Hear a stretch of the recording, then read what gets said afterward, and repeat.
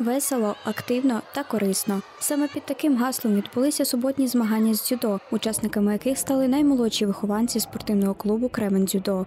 На татамі зібралися близько 50 дітей із Кременчука та Кременчуцького району, які випробовували свої сили у форматі естафет. Юні спортсмени старанно змагалися, прагнучи показати найкращі результати, отримати позитивні емоції та досвід. Це перші змагання для діток е, молодшої категорії, які ще у нас ходять в дитячий судок.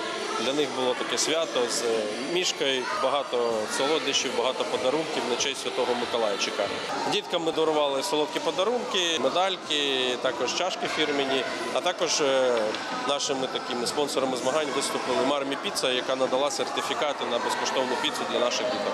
Ці змагання стали першим кроком у спортивному становленні майбутніх чемпіонів, допомогли їм навчитися долати хвилювання, працювати в команді, поважати суперників і довіряти власним силам. Вони не лише зміцнили характер юних дзюдоїстів, а й посприяли формуванню важливих цінностей, як от наполегливість, взаємопідтримка та дисципліна. Я сьогодні зайняла місце.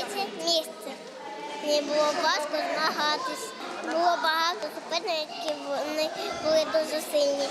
Хвилювалась. Я сама вибрала цю тренування.